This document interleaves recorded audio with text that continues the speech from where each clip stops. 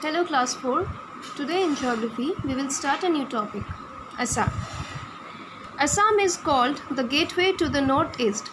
It was known as Pragjyotish in the ancient times and later as Kamrupa. It shares international boundaries with Bangladesh and Bhutan. The capital of Assam is Dispur. Some important cities are Guwahati, Dibrugarh, Tejpur and Silchar. तो क्या बोल रहा है कि असम असम को north east की gateway बोला जाता है in the ancient time Assam was known as Pragjyotish and बाद में ये कामरूपा के नाम पे भी जाना जाता है असम एक्चुअली दो इंटरनेशनल बाउंड्रीज शेयर करते हैं एक बांग्लादेश के साथ और दूसरा भूटान के साथ असम का कैपिटल है Dispur and some other important cities of Assam is Guwahati Dibrugarh Tezpur and Silchar physical features. Assam lies to the south of the eastern Himalayas. The Brahmaputra River creates a floodplain in Assam. The hills of Karbi Anglong, North Kachar, and Khasi Garo are originally parts of the South Indian plateau system. The Barak River flows through the Kachar district. So so, क्या बोल रहा है कि Assam actually eastern Himalaya के एकदम south में situated है यहाँ का सबसे बड़ा जो रिवर है, ब्रह्मपुत्र रिवर ये जो फ्लड प्लेन क्रिएट किया है, उसी में असम सिचुएटेड है। मतलब असम में ही वो अपना पूरा फ्लड प्लेन को क्रिएट किया है। यहाँ पे करबी अंगलोंग हिल है नॉर्थ कचर एंड खासी गारू ये तीन parts actually south Indian plateau system का पार्ट्स है। और यहाँ पे बड़ा रिवर भी फ्लो करता है, जो कचर डिस्ट्रिक्ट से बहती है। Climate. Assam has a tropical monsoon rainforest. Climate. It experiences high humidity and rain, heavy rainfall. इसका क्लाइमेट अगर देखा जाए तो ये actually Assam has a tropical monsoon rain forest climate इसकी वजह से यहाँ पे high humidity and heavy rainfall देखने को मिलता है। Vegetation and wild life Assam presents rich biodiversity There are tropical rainforests, deciduous forests, grasslands, bamboo orchards and wetlands.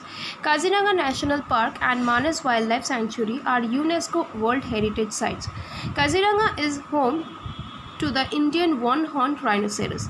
The forests of Assam are home to endangered species of animals like golden langur, white-winged wood duck, pygmy hog and others. A large number of tigers and elephants too live in this forest. Assam has the largest population of whitewater buffalo and the highest diversity of birds. तो क्या बोल रहे हैं कि natural vegetation and wild life का अगर बात करेंगे तो असम का बात मतलब अगर असम का बात नहीं करेंगे तो ये इनकम्प्लीट रह जाता है असम में rich biodiversity can be seen यहाँ पे बहुत सारे रेन फॉरेस्ट्स है डेसिडुअस फॉरेस्ट्स है ग्रास लैंड्स है बैम्बू ऑर्चार्ड्स हैं एंड वेटलैंड्स है। यहाँ पे दो सबसे important national wildlife sanctuary national park है, जैसे एक है काजीरंगा नेशनल पार्क एंड दूसरा है मानस वाइल्ड लाइफ सेंचुरी दोनों ही यूनेस्को वर्ल्ड हेरिटेज साइट है।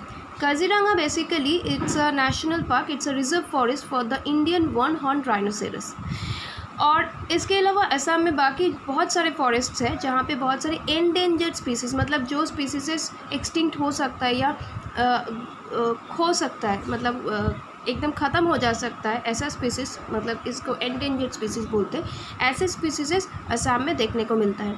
जैसे गोल्डन लंगूर है वाइट विंग्ड वुड डक है पिग्मी हॉग है एंड अदर्स इसके अलावा टाइगर्स एंड एलिफेंट्स भी असम के फॉरेस्ट में देखने को मिलता है। असम में सबसे ज़्यादा पॉपुलेशन है white water buffalo and highest diversity in the birds can be seen मतलब highest diversity of birds can be seen here तो असम का वाइल्ड लाइफ मतलब बहुत ही अच्छा है. Natural vegetation and wild life बहुत ही, बहुत तरीके की डाइवर्सिटीज़ हम लोगों को असम में देखने को मिलता है. So class 4 i hope you have understood this text please go along with this text. And uh, along with this explanation thank you